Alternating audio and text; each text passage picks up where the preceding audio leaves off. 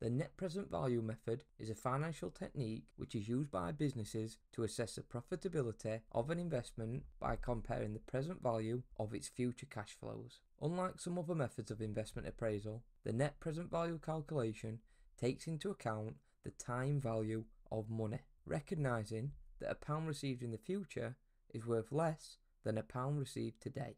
This is because money that's available today could be invested by a business and earn additional interest, meaning it will grow in value over time and would therefore be worth more in the future. This is why it's important for businesses to compare what any future returns from an investment would be really worth if they were to receive it today so that it has a more accurate insight into the real terms level of return that they can expect to receive from an investment and make a more informed decision. Think about it. If you're offered the choice of receiving £1,000 today or £1,000 in five years' time, you'd be much better to take the £1,000 today as it is worth more now than it would be in five years' time. What initially looks like a good return might not be so lucrative once the time value of money is considered. But you might be thinking, how do businesses calculate the time value of money and identify what future cash flows would be worth if they were received today? This is where discount factors come into play. By using a discount table, a business is able to identify what discount factor a future cash flow must be multiplied by to calculate its present value. For example, if a potential investment was predicted to provide a return of £1,000 in five years' time and the discount rate was 10%, the business could use this discount table to identify that this £1,000 return would need to be multiplied by 0.62 to calculate what its present value would be. So that's £1,000 times 0.62, which equals £620, meaning that the £1,000 return in five years is actually worth just £620 in its present value in today's money. Knowing this helps businesses in evaluating potential investment opportunities and determining their viability. Net present value also allows for a direct comparison between different investment options, enabling businesses to prioritize and select the most financially attractive projects. Let's explore a scenario where a window cleaning business is evaluating a single investment project using a discount rate of 20%.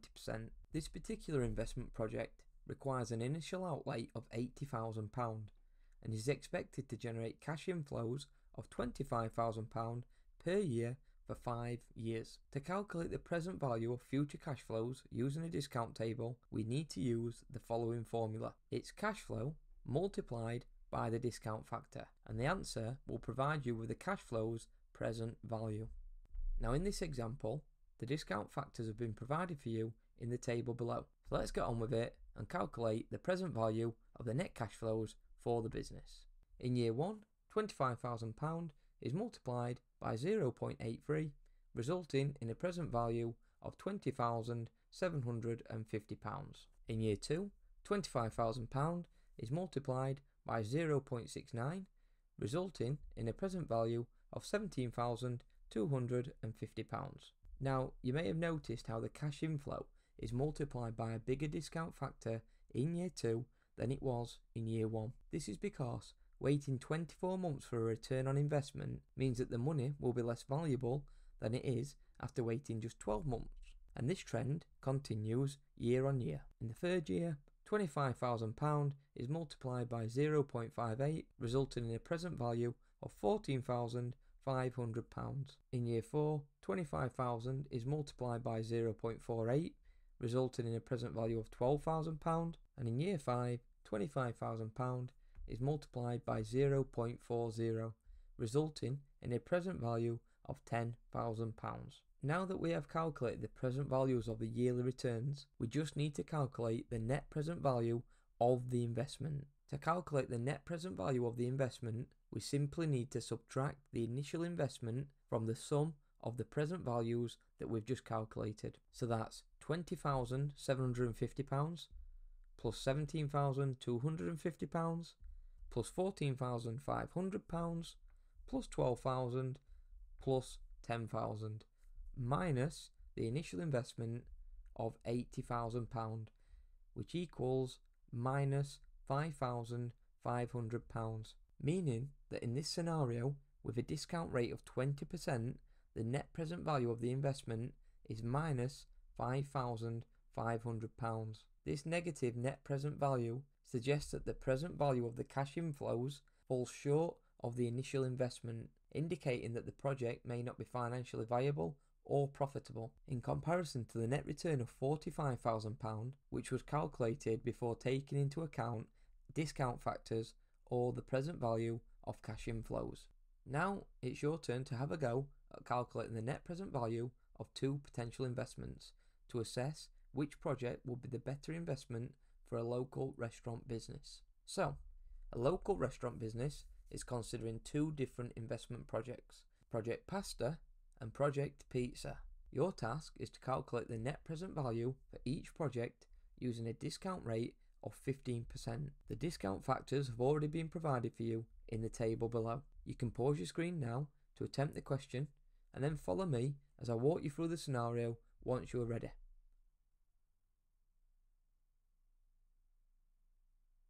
Hopefully, you've all now had a go at calculating the net present value of both investment options which a local restaurant business is considering. So let's walk through the calculations, starting with Project Pasta. Project Pasta requires an initial investment of £50,000 and is expected to generate cash inflows of £15,000 per year for four years. And just like we did in the previous example, all we need to do is multiply each of these £15,000 cash inflows by the relevant discount factor. So in year one, that's £15,000 multiplied by 0.87, resulting in a present value of £13,050.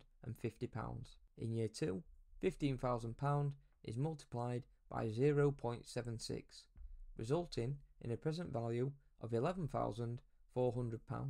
In the third year, £15,000 is multiplied by 0.66, resulting in a present value of £9,900. And in year 4, 15,000 is multiplied by 0.57, resulting in a present value of £8,550. Now that we have calculated the present values of the yearly returns for Project Pasta, we are able to calculate the net present value of the investment by subtracting the cost of the initial investment from the sum of the present values. So that's £13,050 plus 11,400 plus 9,900 plus 8,550 minus the initial investment amount of £50,000 which equals minus £7,100. You just need to repeat this process for Project Pizza which requires an initial investment of £100,000 and is expected to generate varying levels of cash inflows over a 5 year period. In year 1, £26,000 is multiplied by 0.87 resulting in a present value of 22,620. In year 2, 32,000 is multiplied by 0.76, resulting in a present value of £24,320. In the third year, 35,000 is multiplied by 0.66, resulting in a present value of £23,100. In the fourth year, 42,000 is multiplied by 0.57, resulting in a present value of £23,940.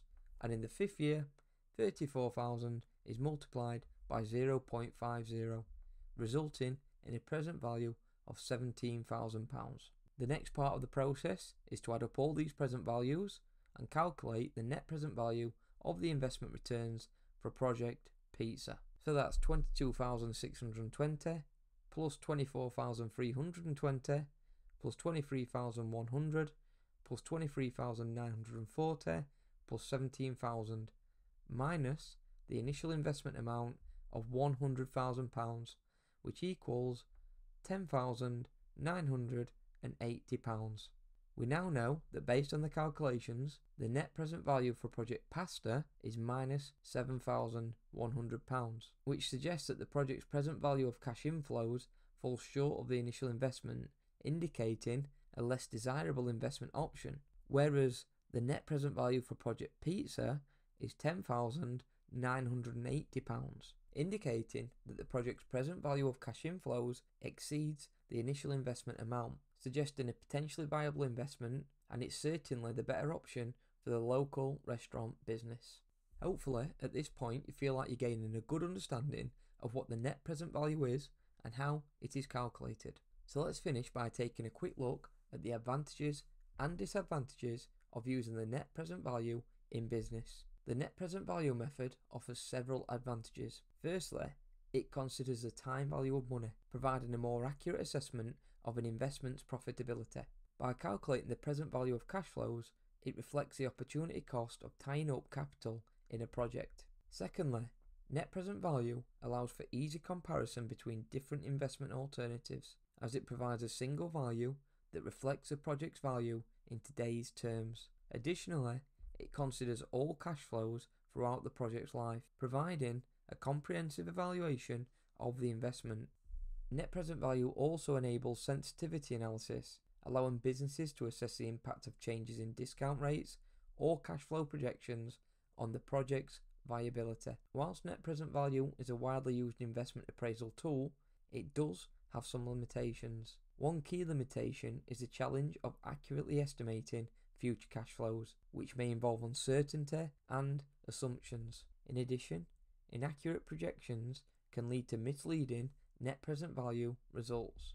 Importantly, the selection of an appropriate discount rate can be subjective as it depends on factors such as the project's risk, the cost of capital, and the company's required rate of return. If the discount rate is incorrectly chosen, it can significantly impact the net present value and lead to flawed investment decisions. And finally, the net present value calculation does not consider the size or scale of investments, making it difficult to compare projects with different magnitudes.